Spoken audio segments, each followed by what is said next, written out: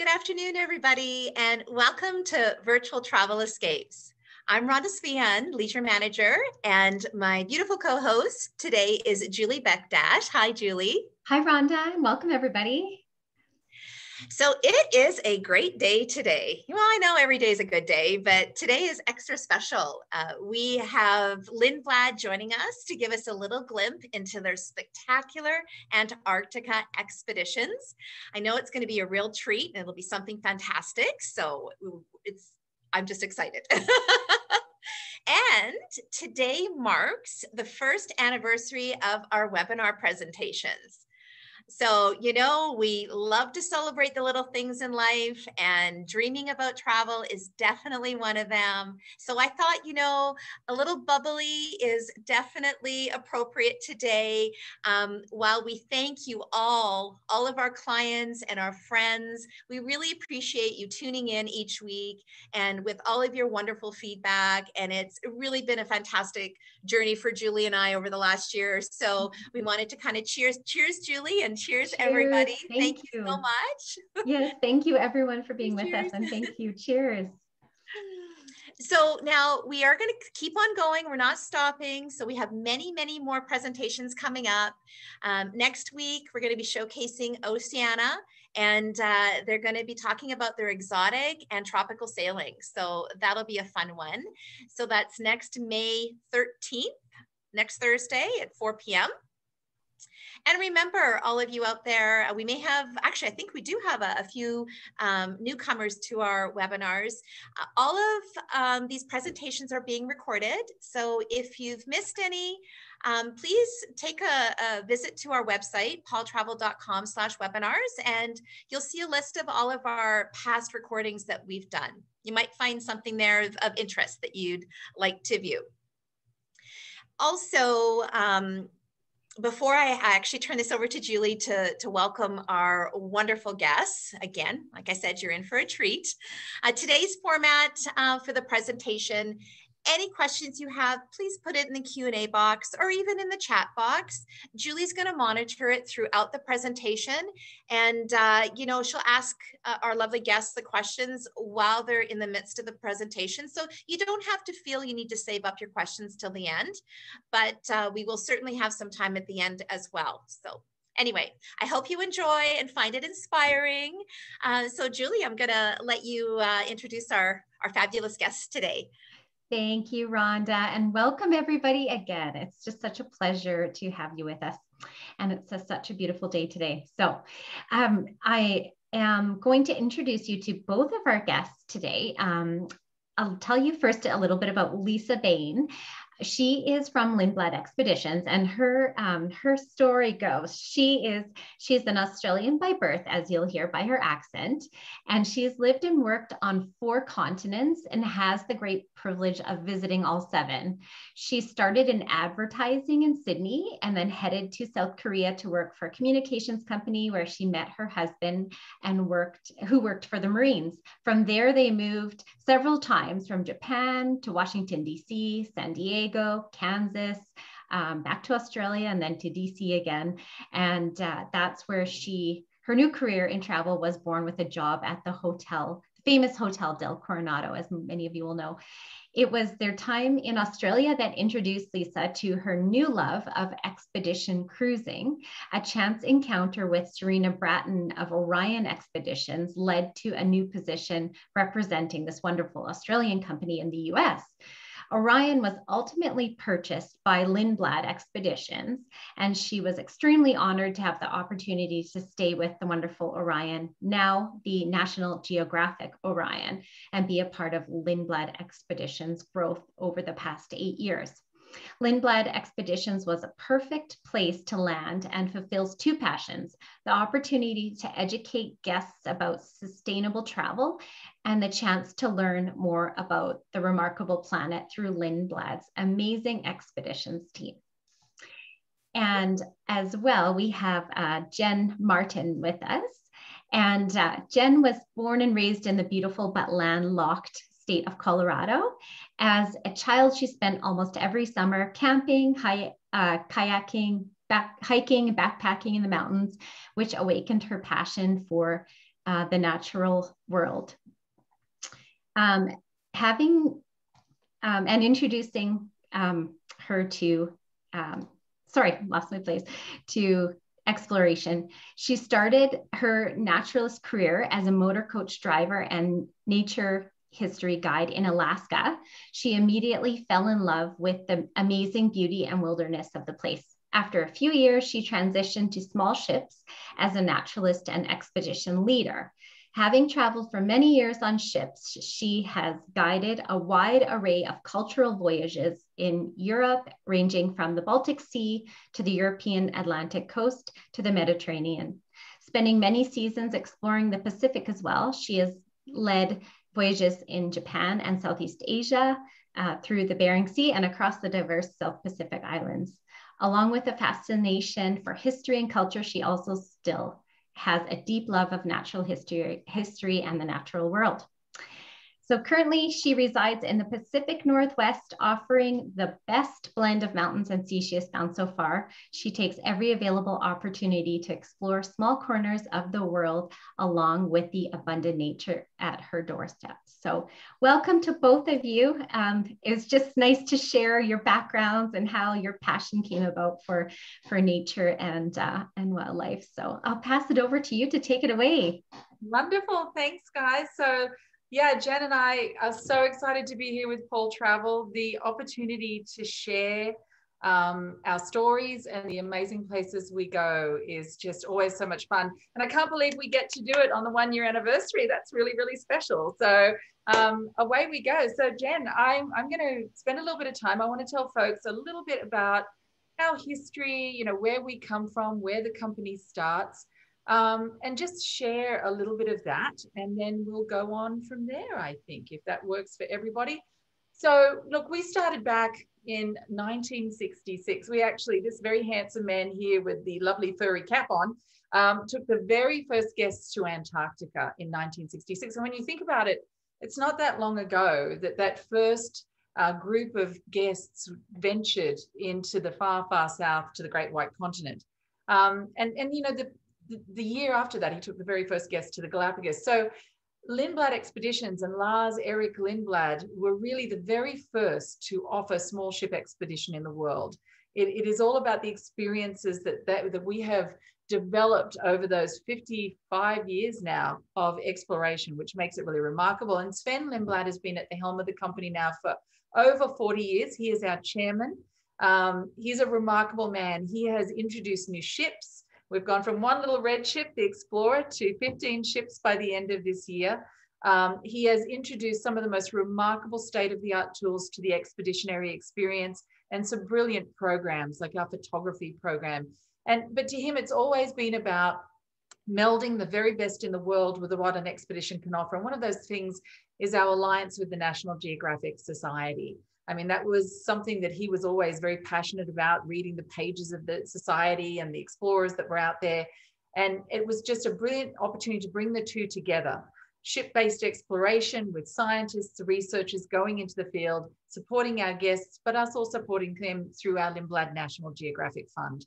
Our expeditionary team, I mean, I, I kind of have to laugh at Jen. She's she's very humble. She has traveled and done some of the most remarkable expeditions for us around the world. We are talking yesterday about one of our uh, expedition leaders or expedition naturalists, Tom Ritchie, and Tom has done 160 expeditions to Antarctica. And that's only one of the places he visits and, and leads with us. And so this is what these men and women are about. That and what I love most is their ability to still have that childlike wonder in everything they do when you go to a new expedition. It, it, gives me, actually, I've got goosebumps thinking about it. Because when you travel with them, it doesn't matter if their 160th trip or their first trip. They are so passionate and excited about sharing it and making sure that you have the opportunity to understand it both above the water or below the water through our underwater dive teams, our Lindblad National Geographic photography programs, our naturalists, marine biologists, utilizing all the tools we have, like our kayaks, our zodiacs, our paddle boards, and we'll touch on those through this presentation. But the moments that take your breath away is what we're about. Moments like this with a minke whale next to a kayak in Antarctica and knowing, you know, dinner can wait. This is why you're there. These are the moments that you can look back in your life and, and are the special moments. You are not going to remember what you had for dinner that night on the ship, but you're going to remember being next to a minke whale for 45 minutes, an hour, or going onto a beach via our zodiacs. So we want to kind of take you through the story of who we are, how we explore, how we share that experience. And I'm going to turn over to Jen because she is an expert in our polar regions. She's going to share, share her experiences. We'll watch for questions and um, welcome. Hi, thanks so much, Lesa. And thanks, Julie and Rhonda. So I'll just kind of talk about what we're seeing here. And then of course, Julie, if you get questions, just interrupt me along the way, stop me. I'd love to, to chat about what you're seeing. But I thought it would be good to start with a couple images on Google Earth to just give you a sense of place, a very quick sense of place. You're looking straight down at the South Pole from here. You're looking down at the continent of Antarctica. And the place we're going to focus on is the piece that sticks up a little bit to the top left. That's the Antarctic Peninsula. And we'll, we'll see a little closer view of that in a second to show you how you can kind of get close in and where we're going to go. It's, as you see in the scheme of Antarctica, it's not that much area geographically, but it is incredibly biodiverse. It's incredibly beautiful. It's incredibly dramatic. So what you're seeing here when we talk about these things, when you're seeing the photos that will come up of the wildlife, most of that is centered on this peninsula and that little ring of islands right at the top there. But to give you another sense of things, we'll talk about the next slide that will show you where this sits in relation to South America. So South America is where we begin these voyages. We start in a town called Ushuaia, which is at the southern tip of South America in Antarctica, or excuse me, in Argentina. And we go across the Drake Passage. And I know that for many, the Drake Passage, if you've heard of it before, it can be this looming, scary, scary thing. But it is not that way. And Lesa and I will get into a little more detail about that in just a few minutes. But it's it's something that shouldn't keep you from visiting one of the most remarkable places in the entire world. Antarctica is unlike any place you've ever been. Ice, penguins, snow, rock, beautiful, beautiful blue colors, beautiful light. There's so much there. So don't let that intimidate you. And we'll get into a little more detail later. I also just wanted to call out the two other places that I've marked on here, the Falkland Islands and South Georgia Island. We'll talk about those at the very end just to give you another sense of place, but these are called sub-Antarctic islands. And the Falklands are inhabited. They also have tremendous wildlife opportunity there. South Georgia Island is considered the Galapagos of the South, and there, no one lives there year round. All right, so we'll get into the, the meat of it and where this trip goes. This is a picture of Ushuaia. So this is the gateway city in Argentina, in Tierra del Fuego. And you can see it looks like a little mountain ski town, and it is in their wintertime, but we're there in their summer. So the picture you're seeing here is springtime. It's late spring with snow still on the mountains. We leave from here and head out into the Drake Passage. And during our time on the ship, we have two days at sea, day and a half to two days at sea. We have our natural history team. The man that Lesa mentioned that has done 160 trips to Antarctica is the one in the center here with the big smile and the giant beard. That's Tom Ritchie. But these three are three of our longest term naturalists and our natural history staff love this place. And so they spend those two days on the ship getting you ready for the experience. They're giving presentations on board the ship about where you're going and what you're going to see, but they're also with you, as pictured here, at every single landing. So they're there to share what you're seeing, to share in the moment, to show you how to photograph these things, to explain a behavior that you're watching. And they are absolutely wonderful. We, we all love what we do on the ships.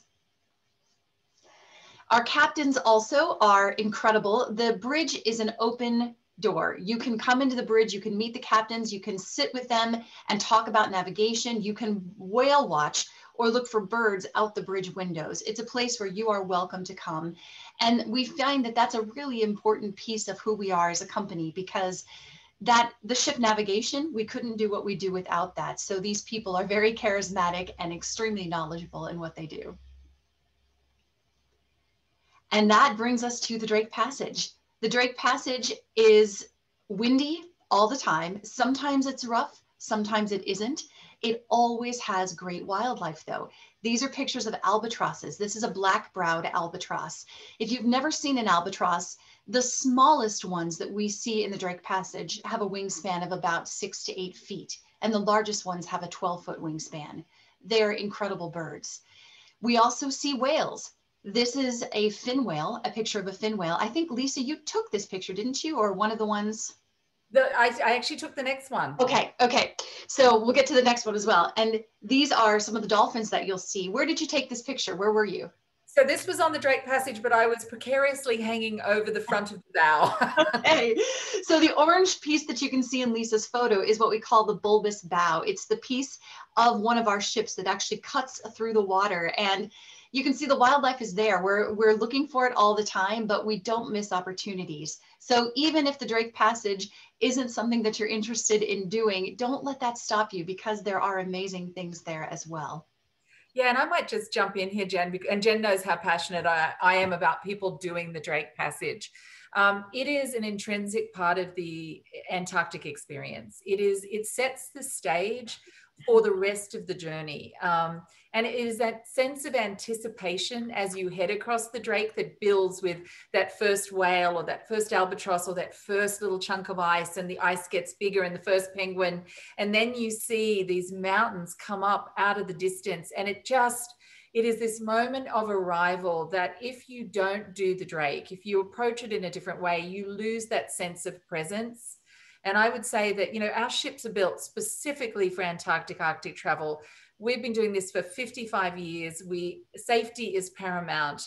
It is one of those things that once someone gets into it and they're down there and they accomplish it, it is the most amazing feeling of I just crossed the Drake Passage. I'm one of about 50,000 people a year on this entire planet that will have this opportunity.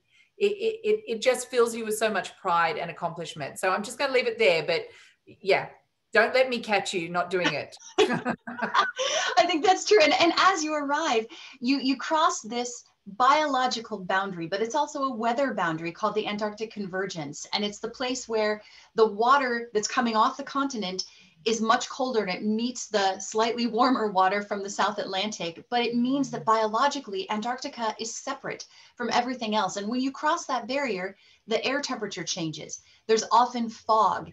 It's all of this that's preparatory for your visit to Antarctica. So it's a really, really great way to arrive. And then you get there, and as Lesa said, you have these incredibly dramatic mountains that you see. The Antarctic Peninsula is like this along its entire length very rocky, very rugged, really, really picturesque.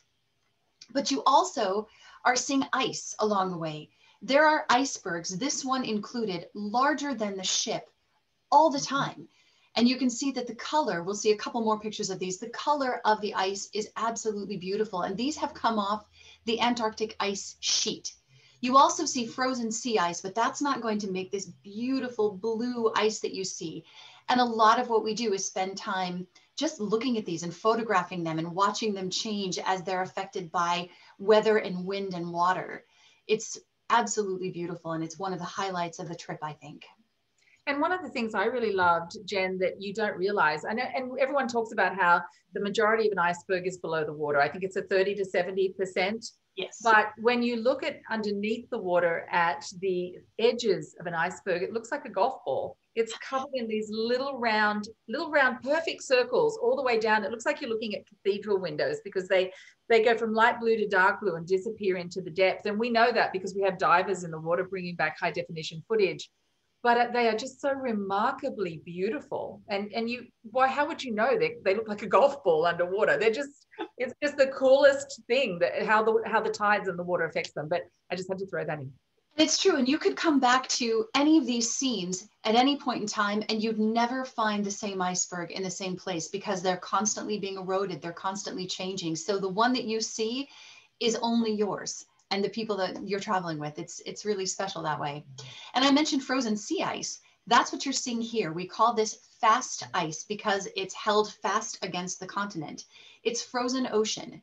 So when we're there early season, which early season is November, we can sometimes find a place like this where we can park the ship into the ice. We go out and we test it, and then we can go for walks on the sea ice. And so here you see people pretending to pull the ship through the ice, and it's lots of fun for photography, lots of laughter. It's always a really special experience. But it is a certain time of year because we're coming there in early spring in Antarctica. So think of it differently in your mind. Southern hemisphere, springtime is November, and we can go out on the ice. And you'll see a couple other images of things we can do, including cross country skiing if the conditions are right. We have skis and poles, we have snowshoes as well. So if the conditions work for this and we test all of this out, we, we make this happen in the early season to go out and explore the ice in a different way and it's fun. You know, people have a good time with it, and we always have our flag out there, and you can see someone making a snow angel in the snow on top of the ice. And you're seeing different images of some of our other ships in the backdrop, but it's it's a great opportunity for people to kind of band together and try something they've never done before. And you're never quite alone out there. In this case, you have a picture of some, I think these are Adel oh, these are chinstrap penguins, chinstrap penguins that are as curious about us as we are about them. And they're actually coming toward the photographers. So you get a chance to kind of see that as well. Now one thing to talk about is access to the continent. We're a ship but we don't spend all the time on the ship. So much of this experience is getting you on land as well and we have a fleet of zodiacs on all of our ships zodiacs are what you're seeing here a rigid hull boat with an outboard motor. And they allow us not only to go to shore, but they also allow us to go on Zodiac cruises. So we can use them as a vessel to get you out into the ice as well. And we have amazing boots. We do a boot rental, and they are the most comfortable, steady boots on ice and snow. Um, and it's brilliant because it can be heavy. You don't want to drag them all the way in your luggage because you do have certain weight restrictions going into Antarctica. So being able to have these on the end of your bed and leave them when you're done is just such such such a luxury right because you don't have to worry about carrying them we're clean we're cleaning them between every visit one of the things that's really important to us is ensuring this the the integrity of each of these islands and not carrying pathogens or anything we shouldn't from island to island to the point where on our um, jackets we remove the velcro because Velcro is a little bit nasty at collecting seeds or soil. So, you know, down to that point with our sustainability, we want to care for these regions. That's just a little segue. And you can see that the boots, they're, they're a necessity because the Zodiacs can only get up so far. You have to step out into the water and you just, you just get used to it and your feet stay totally dry. Yep. So talking about the Zodiac cruises, this is one of the activities that we offer frequently is to go out by small boat and show you the ice and also look for wildlife. These boats are very maneuverable. We have a lot of space in them, but they're a great way to get you down at water's edge and exploring. And it's, it's a lovely opportunity to see the icebergs and to look for leopard seals and to look for crab eater seals just down on the water's edge. We also, as I mentioned, use the boats. You can see a Zodiac way down at the water's edge. We use them as transportation to shore because there are certain places where we do hikes up the hillside to look at some penguin colonies. There are places where we go walking around on shore. You can see these folks have done a short hike and they're probably in an area where there are penguins as well. So we're, we're using the boats to get people onto shore and having an experience together. And these folks are, are certainly happy about that. Glacier in the background. As Lesa mentioned earlier, we also have kayaks. And the kayaks, when I talk about the Zodiacs being a great feature for getting down to the water's edge, the kayaks are even a step further because it's your experience. It's just you and your kayaking buddy. Choose the right buddy. I can tell you that much. I've seen this go horribly wrong. and, and we can hear all the arguments over the water very, very clearly. But it's it's quiet and it's silent and you're just out there enjoying the time paddling around. And even if you've never kayaked before, we'll show you how to do it. And we have a lot of safety features always in play so that no one has to feel like this is something out of their reach. It's a lovely way to get down on the water. And it's really cool because we have a proprietary proprietary dock system which hangs between two zodiacs. So when you go out, the team has the kayaks, they're ready to go. You just sit your bottom on the edge of the zodiac, swing into the kayak, and you push gently out into the water. Your feet don't go any, you don't even touch the water. It's just such a brilliant, easy way to explore. There's always our safety zodiacs around. I mean, it, but if you have the opportunity to go to Antarctica, this is something you really want to try because having that water level experience with penguins or whales is just, it's a very intimate experience. And photography, Lesa talked about our photography program. We have two different aspects of teaching in that photography program. And one of them is that on these ships, we always have a National Geographic photographer on board with you. And their job is not to capture photos for the magazine or for themselves. Their job is to help you capture your best images. And they are paired with someone on our own Lindblad team, uh, and they're, it's a very long title, Lindblad Expeditions National Geographic Certified Photo Instructor. and they are also a naturalist, but they're a photo instructor. And as the title suggests, they're there to help you, whether you're using an iPhone or a big DSLR, they're the ones that are there to, to make sure that you go home with great memories. And of course, some of those memories should include wildlife. These are Gentoo penguins. Penguins are a major part of the experience in Antarctica. And many people by the end of a trip will say, oh, are we gonna see another penguin colony? And I never feel that way because where else are you going to see this? They're remarkable and they're hilarious and they're loud and raucous and they're constantly in each other's little beaks and faces, but they're wonderful. And to see them come out of the water like you're seeing here, they're so perfectly designed for the environment in which they live. And of course, there are other what we would call cetaceans, dolphins and whales. This is an hourglass dolphin. This is one that you can find rarely a little bit further north, kind of near the Falkland Islands. And they're they're beautiful animals, but it's the kind of thing that we we want you to be outside with your cameras and your binoculars, but we have our naturalists looking for these all the time. And we always make sure people know when we've seen something so that they can come out on deck and, and get a picture. And I think we've got a brilliant video right now that's going to showcase one of those types of examples down in Antarctica. Oh my goodness. Um, so, oh my goodness. We've got about 20, uh, kind of like a disparate pod of about 20 killer whales. oh my goodness. And they're still here, they're just over there. Oh my gosh. Sugar. It's just like pure curiosity because we are, you know, enrichment in their environment. This is their world. Oh my goodness. Oh, oh oh, oh, blimey. Um, yeah, these animals are coming here to take an experience from us, you know? That's beautiful. That's really beautiful. Yeah. And they're killer whales. Yay! Oh my goodness. And what I love about Ella is that that's a field of study whales, killer whales. So she's seen a lot of them and she gets that excited every time. And I think that's what's infectious, right? It's yeah. well. every time.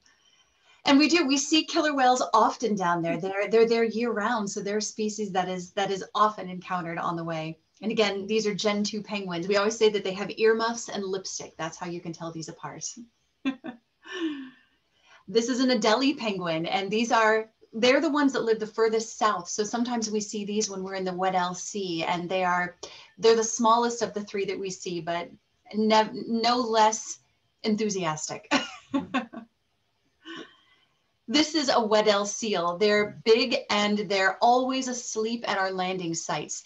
One thing to note with all of the wildlife that you're seeing, any of these photos are zoomed in. There is uh, an organization that we are a part of, we're a member of, IATO, International Association of Antarctic Tour Operators. And we are we are self-regulating. So we have all agreed to the fact that there are rules and restrictions that we place on ourselves to protect the wildlife and the environment. And one of those is that we don't harass wildlife and we don't get any closer than five meters or 15 feet if wildlife comes up to us, we just tell people to stay where you are and, and let them explore and walk around, but we don't get any closer because when you see things like this and this resting seal, that's what you want to see. The seal calm and comfortable in its own environment and they're, they're beautiful animals. This is a leopard seal.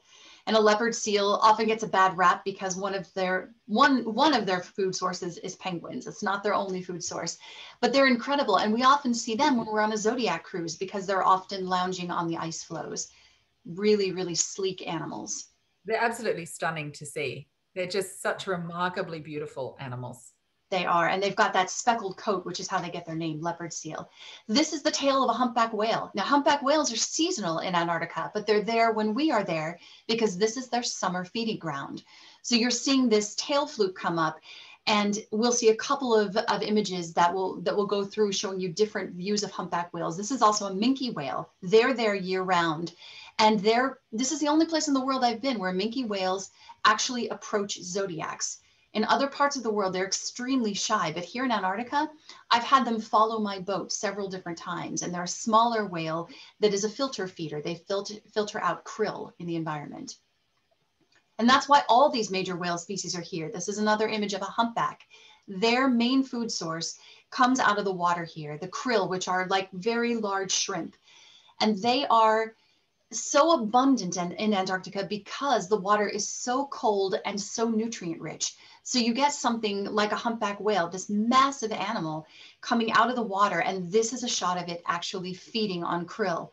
They're scooping up a mouthful of water and they're using those feather or hair like things that you're seeing in the top of its mouth there to filter out the water. The water goes out, the krill stays in. And they couldn't do it if this environment wasn't already nutrient rich. And that's why the penguins are there as well. We also have a dive program, and Lesa talked about this at the start, and this is one of my favorite aspects.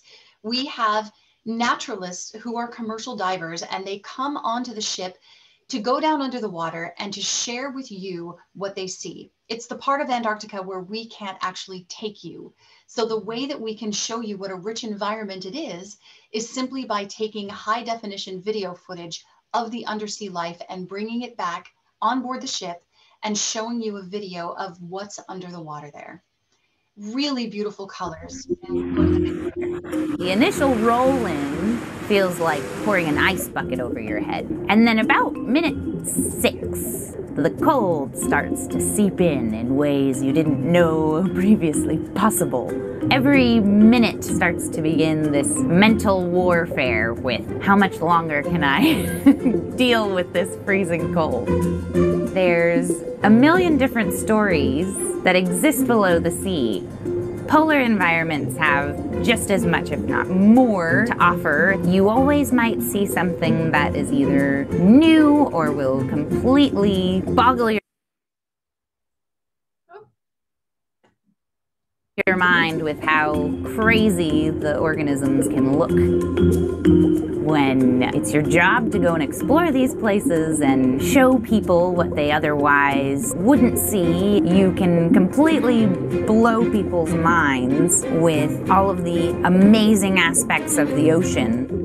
So many of these organisms seem so alien to us. The animals that people in general know the least about are more often than not some of the most fascinating you can ever imagine marine animals and their ecosystems and the intricate relationships that they have. It's really my entire world. It's all I think about, it's all I dream about half the time, and reminds you of just how ridiculous life can really be.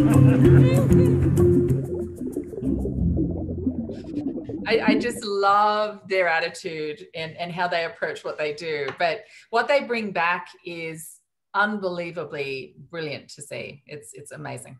I don't think anyone expects to go to Antarctica and find a rich undersea environment. It's not no. that you're booking a trip, but it's an important thing to see and understand when you really think yeah. about the environment as a whole. Now, this image, of course, is someone participating in the polar plunge, not a required activity, but something that if you want to do it we if we can put this on offer for you. And again we have lots of safety features in play but it is cold. And i can tell you i've done it once and that was plenty for me. I've had ample opportunity to do it again. And i just said you know what? The one time was good for me but it's worth it. And it's a really it's one of those things that you can take home and uh, pat yourself on the back for. Lesa, and I do find I do find when when you do offer it and everyone does it, and then that night at dinner, everyone's like, "Oh, you know, I wish I had have done it." So think very seriously if you're saying no because it's a one-time option when we're down there. So.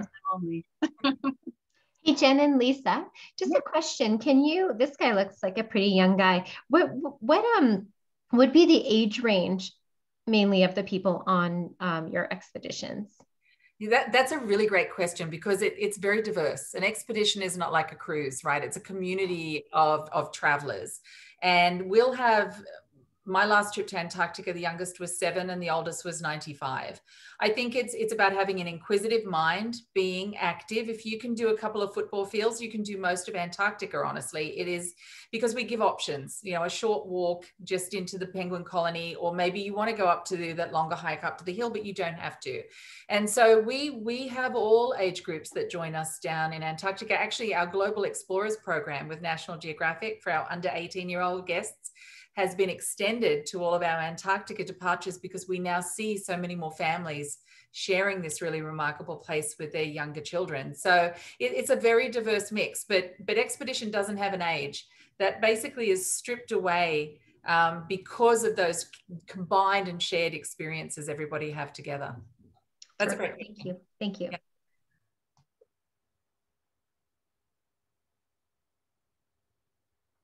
All right, so now we'll move into the outskirts just a little bit. I had mentioned early on that we would just touch on South Georgia Island and the Falkland Islands as well. These are two of the sub-Antarctic islands that, that some of our trips also visit. What you're seeing here is one of the king penguin colonies on South Georgia Island. South Georgia is, as I mentioned, there's no year-round population there other than scientists that live in one location.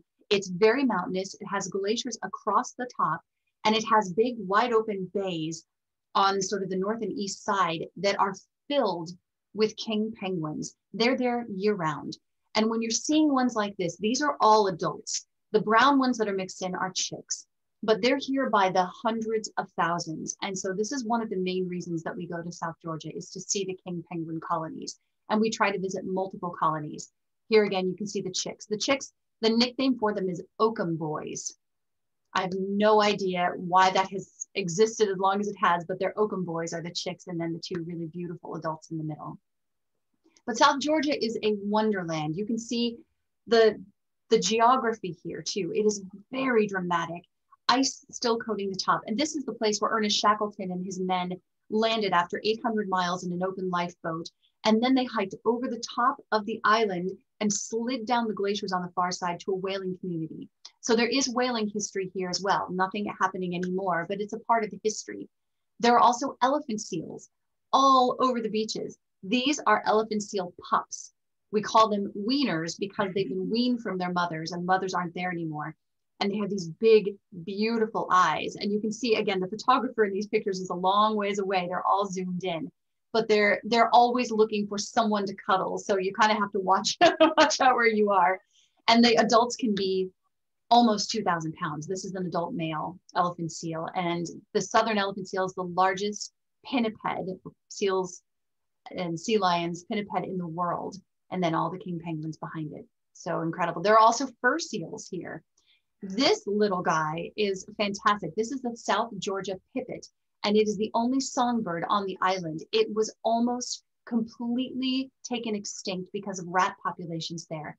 But because of some researchers and a lot of donations, including Lindblad Expeditions guests, they eradicated the rats on South Georgia Island and the pipit has made an incredible comeback, but it's a little songbird that lives there year round. This is another elephant seal. This is a female, but the thing that you can notice in this picture about South Georgia Island is that it is not ice choked like Antarctica is. It's a little more temperate. You have these big tufted grasses and you find that the wildlife just lives in and amongst the grasses. Both the pinnipeds and the birds are here. We also can do some longer distant hikes. We can do multi-mile hikes on South Georgia, which are difficult to do on Antarctica because the terrain is so vertical. Here you've got the grasses and you can go up and over one bay into the next. And this was actually taken on what's called the Shackleton hike, which is a portion of the hike that he and his men did when they were coming down to the whaling station at Stromness. We also visit Grytviken, which was one of the old whaling communities and now is where there's a museum and a research station, and it is also the grave of Sir Ernest Shackleton. And this is where we drink a toast to the boss, and that was his nickname. And it's good because we get to go back to a really beautiful ship after we've done that. exactly, exactly. And here again, you're looking at the ship. The ship is not as close to the shore as it looks, but it's not far. But again, thousands and thousands of king penguin adults and chicks here on the landing site at South Georgia Island. And then you just ask a oh, sorry, oh, Yeah. A quick question. How tall, how tall are those king penguins? The king penguins are the second largest in the world. So they're probably about, I'm looking next to me, they're probably about two and a half to three feet high, uh, the adults. They're smaller than an emperor, but not by much. Okay, thank you. You're welcome. And so then we move to the Falkland Islands. Now, the Falkland Islands have a year round population of people that live there. There are farms and ranches, there are hundreds of sheep everywhere you go. And the town of Stanley is sort of this little colorful outpost. But we, we visit the town and then we talk to some of the farmers that are there, and then we go out into the wild areas because the Falklands also have rock, rockhopper penguins and they have lots of different nesting animals that are there. Most of them are are going to be birds in flight. So you see albatrosses, but you also are going to see different species of penguin. This is the Antarctic fur seal that you find on South Georgia and on the Falkland Islands. And again, more of that tufted grass, very pretty. This the Falklands look a little bit like northern Scotland, or if you've been to Shetland and Orkney, they look very much like that. Similar climate too beautiful beautiful penguins and and these are actually nesting into the grasses that you find on the falkland islands as well and then albatrosses again a black browed albatross the colonies here are seasonal like everything else and we're able to come in and see them when they're taking off and and landing off their nests and also during the mating time period when they're they're having a courtship this is a wandering albatross these are the these two largest albatross in the world, 12 foot wingspan. And we can sometimes see them when we're on South Georgia Island. And just to talk about the places in general, to sort of bring this a little bit to a close, the lighting is one of the most beautiful things that you find when you go to the Southern Ocean. And it's something that I think people find to be the most surprising. A sunset like this might last five or six hours because you have a hundred percent daylight once you cross the Antarctic Circle. So just above that, you're getting this beautiful long dusk and dawn. I think we have one more picture to show this. This is not doctored at all. This was taken in the Lemaire Channel or just at the entrance to it of one of those sunsets. So again, beautiful light, beautiful scenery. It's it's without question one of the most incredible places I've ever been. It's and, and it changes every minute. That's what's so amazing about the color. Um, you'll have people out on the bow for three or four hours because they go to go inside and all of a sudden it goes from orange to purple and from purple to pink. And it, it's it's just it's absolutely beautiful. So i just want to spend a couple of moments and talk about how we do explore how the, the itineraries that we offer as we head down. So our journey to the white continent this is probably the one that we do the most. It's a 14 day from the day you leave edmonton to the day you come home. But this is traveling down either to buenos aires or santiago taking our charter flight down and then doing that amazing Drake Passage because it's a must and spending your time down along the Antarctic Peninsula. So that's our journey to the White Continent. We then have, as Jen said, we have this brilliant trip that takes in Antarctica, South Georgia, and the Falklands. And if you have the time, it is worth investing because that South Georgia is it, it's kind of tantamount to being in Africa and that type of Serengeti wildlife experience. The sheer numbers and the breadth of wildlife in the South Georgia Islands and then Antarctica, it's just, it's an amazing combination. We find a lot of our clients who travel with us have done Africa. They're wonderful bookends to travel. Um, and of course, our new favorite, the one I think everyone's fighting to get onto, is our 36 day itinerary from Ushuaia down along the peninsula, that western coast of Antarctica, all the way down to the Ross Sea, and then up through the subantarctic islands of Macquarie, Stewart, Snares. This is where you've got some species of penguin we don't see over here on our other subantarctics, like the royal penguin or the rather um, rare snare, what is it, the Snares yellow-eyed or the yellow-eyed penguin. Um, and they've got these really kind of yellowy eyes, but they're remarkable birds. And so it's it's it's a it's an opportunity to see a much broader scope of Antarctica. And because of the way we travel, we are off the ship as much as possible. That's the whole hallmark of Lindblad is the luxury of access. We have these beautiful ships, and I'm going to share with you our brand new ships, the Resolution and the Endurance. And we've built these two gorgeous, gorgeous vessels. We're going to take you all the way to Antarctica, and then we're going to say, get off. because that's why you're there. But we have these two ships. One joined us last year, another joins us this year They've got these sexy pointy noses. That's called an X bow. Means instead of riding a wave like a traditional ship, they actually cut through the base of a wave for a much smoother, more stable tra transition through adverse conditions. They're also PC5 ice class vessels. So they can basically live in the ice year round in Antarctica and the Arctic. And there are only 69 cabins. And the whole idea of this is it's about that intimacy of exploration. And as Jen mentioned, uh, the International Association of Antarctic Tour Operators, that self governance, part of that is you cannot have more than 100 people on the ice at any one time. So if you're going down on a bigger ship, you are probably going to have to, have to spend time waiting for that original group to go and come back because our ships are so intimate, we can have everybody off at the same time doing different activities, but engaged in the destination. So you really are investing in the expeditionary experience. But beautiful recap areas. This is where we do our evening recaps. It's always in the round. This is a community conversation. We want to have our expedition team speak to you, but we want you to be able to speak with your fellow guests and our expedition team as well lots of glass because you're there to see out wonderful dining rooms all glass everyone has a glass has a window seat i wanted to show these although they don't have all the cushy pillows and the blankets on them but there's two beautiful fire pits on the back deck where you can take a drink out at the end of a long day and sit and and watch those amazing sunsets. You have a science hub that is dedicated to our expeditionary team with a 270 degree screen as our video microscope so we can look at the plankton in the water or track microplastics you know, when we throw a bottle in the river here in Tennessee, at some point it's going to end up in the ocean, and at some point it's going to end up washing up in Antarctica or the Arctic. So, understanding what we do today can affect tomorrow is really important. There's also a brilliant chef's table, outside dining areas uh, a stunning art exhibit put together by Zaria Forman on sustainability with a focus on um, the polar regions. There's a wet and dry sauna, perfect for after that polar plunge. Um, there's a full fitness center, there's a spa, massage. Um, but one of our favorite things, and I know Jen and the team love this, is our open bridge policy. But on these ships, the bridge is big enough to fit all 126 guests at the same time.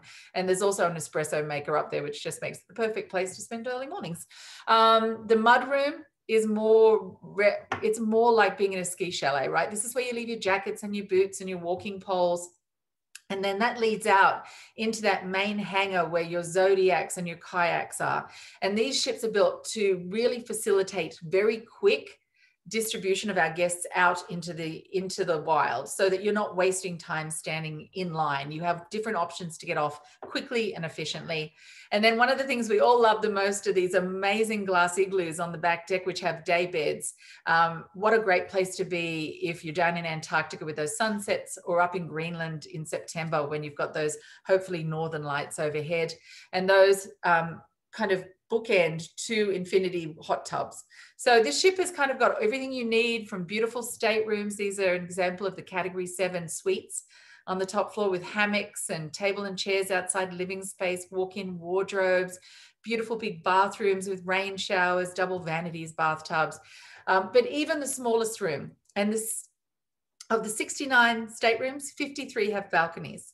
So a handful have these beautiful window seats with big cushy pillows and throw blankets again, but still lovely roomy bathrooms. So two stunning ships, which are going to showcase Antarctica. They'll also do our Arctic. Um, we have a brilliant book that we have. It's called Our Six Questions on Antarctica. And if you're even thinking of Antarctic travel, this is something that Paul Travel and the advisory team there, which have worked with us for years, and they know our ships, they know our team, they understand how we explore. They can help you learn as much as possible about this destination put you in touch with I or Jen if you have other questions. Um, and then we can share more with you. But I know that now Jen and I would love to take any questions if you have any, Rhonda and Julie.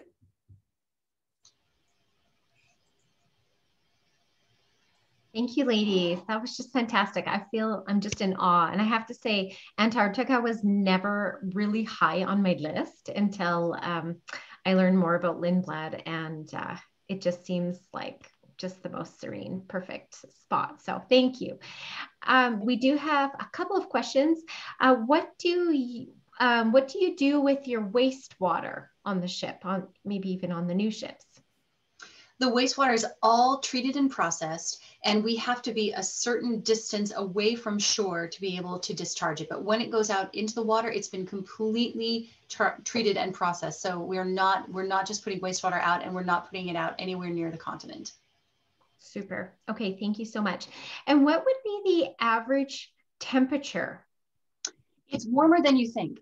It's I would say that the, the wind is cold. The wind can be cold. So add that in. If it's a windy day, that's on top of this. But a typical day there is probably zero or minus one Celsius. It's not that cold. If you think about a dry climate, this is incredibly dry. Think about skiing in a dry place. That's the kind of temperature that you're going to have a ski day in, in a dry place. It can also be, it's very, very sunny. So you need a ton of sunscreen, very sunny but it can be, I've had it be in the 50s and 60s. And I, I haven't had it be much less than minus two, minus three, other than the wind can make it a bit cooler. Okay, perfect. Yeah, I know that's one thing when um, Leslie and Jaylene went, that's one thing they were surprised about. They said it wasn't as cold as they were expecting. Yeah. Um, how far, so the ships are smaller and the season is short. How far in advance would you say to book um, and a Lindblad journey? Yeah, look, I mean, we've just been through the great pause, we're going to call it that. Um, and so, you know, being small ships, you would want to be looking now for 22, 23, because a lot of people had to move from this past year. So there's a lot of folks who couldn't go that are now filling into the smaller ships. Uh, I will tell you, we have a little bit of space left for this December and January. Um, so that is certainly an option. But yeah, you want to be booking about a year out just to make sure you get what you're looking for, particularly if you're a solo guest. We have dedicated solo cabins. Um, and so just be aware that those are there, but they do tend to go quickly. Um, and if you're a family and you're wanting to be close together, the longer you can give us, the better we can work with the team at Paul Travel to get you where you want to be on the ship. Okay, perfect. Yeah. And what about um, so this is always a, a hard question to answer, but when would you say is the best time to go? it so, is a hard question. And, and the reason is yeah. it, it goes back to one of the questions you asked a few moments ago, in that the season is very short. So you're compressing spring, summer, fall into about three and a half months. And what that means is that things move very quickly there. So there's never a lag in activity. Early season, November, late late October, this begins. But for us, our purposes, November, December, you're seeing all the penguins coming back to the rookeries and they're busy building nests and, and reconnecting with one another and mating and laying eggs. And then you get into January and the chicks hatch and you're starting to see more activity around that. And then as you get later into February, you see that the adults are starting to leave in, in small numbers and the chicks are getting larger and they're starting to fledge on their own. And the same is true when you talk about the whales. With the orca, the killer whales, they're there year round. You can find them any time of year. Humpbacks are more seasonal, so they're starting to come back in November, and we see them in, in lower numbers there, but they're definitely around. And then you start to see larger numbers as it gets into December and January. And then again, that tapers off. The seals are there year round. And the snow is one big difference early season, you get snow on the ground, deep snow on the ground, and it's usually snowing from the sky on certain days. Later in the season, you get a lot of mud and guano. so not neither is better or worse. They're just very different. One you're trudging through deep snow, the other one you're trudging through guano. okay. So okay. It's you can't you can't pick a bad time. It really is remarkable and it changes very quickly. Yeah, I think one of the best ways to think about that is if you're wanting to go to Antarctica, what is the first thing you think about when you think about Antarctica? If it's baby penguins, you probably want to get there when you have the opportunity to see those. If it's that pristine ice white clean look early season and i think you know it's if you think of that first thing that you think of that has made you think of antarctica i think that's going to be the time that best answers what you want to experience Okay, perfect. And then another question you mentioned about this, the boots being included, but can you just go over what else is included that people don't have to pack along? Yeah, so the boots are a rental program. Um, the jacket we provide. So you would, when you book your trip with Lindblad, you would work with your Paul travel advisor and fill out your jacket size. Don't panic. Everyone panics. What if it doesn't fit? We have extras. You'll see people running around the boat going, Does, is yours too small? Is your t-? people swap things? That's all mm-hmm. okay. The jacket is yours to keep. It's a brilliant jacket because it's a two-piece system. You have the, the warm liner and then you have the outside spray jacket. Um, and then you can you can pretty much order anything you need. If you don't want to carry bags down, through our system, you can order pants and socks and shirts, and you can basically rock up to the ship and everything is sitting on the end of the bed for you if that's what you want to do. Um, we also have a global gallery, which is our ship based store. Um, and that has fleeces and shirts. So there's always i will tell you one thing people always overpack. Whatever you pack for antarctica go back take half of it out and leave it behind because you will you will not use it.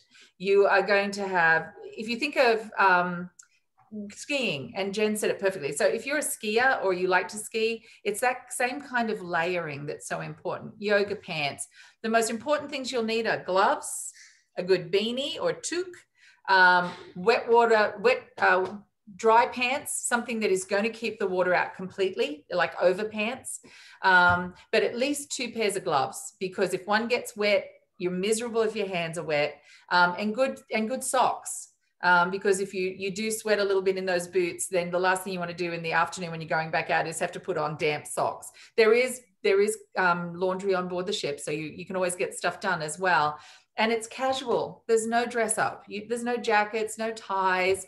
Expeditionary gear is the daily occurrence, right? So we want you to come back from being out on a zodiac and you're going to recap, we don't want you to have to go back and put makeup on. We want you to go back, maybe have a little spritz, brush the hair, come up to the recap. The, the, the fun thing that Jen and the team and I always see when you're on the ship is the first day, everyone looks so put together. Everyone looks so pretty. And then by day two, it's like a scrunchie and lip gloss. exactly. Oh, that's great. Good answer. And thanks for the questions, uh, Lana, Christina. Excellent questions. Um, maybe this one for Jen. How, um, question from Doreen, how does global warming affect the icebergs? Or maybe how have you seen that change um, over the past few years, if you have? You know, it's where we are seeing it more is on the sea ice, the frozen sea ice, and the the lack of snow as compared to past years. So with the icebergs themselves, the biggest the biggest takeaway from that is that large pieces of ice are breaking off the continent and those are breaking up. But we only see those when they when they're a smaller piece anyway. But what we have noticed in in the years of going there is that we used to have that fast ice much longer much later into the season. And it was very thick and some of it would last year after year. And that's just not happening as much anymore. And in addition to that used to be that the snowpack that you'd find would have would be in existence quite a long way into the midsummer and you have snow falling from the sky even into midsummer. And as you get later into midsummer now those are those are diminished. It's definitely warmer than it was. When i've had days there I had a day once that was probably 65 degrees. I was in a t-shirt. And it shouldn't be that way. It's lovely that it is but it shouldn't be that way. So mm-hmm. you can feel it over time. The the ice is diminishing on the sea and the snow is diminishing season after season. Okay. Okay, great. Get there, get there while you can. Hey. yeah. Yeah. Wow. Thank you so much. That was so insightful. Um, just awe inspiring um, presentation. So thank you both so much.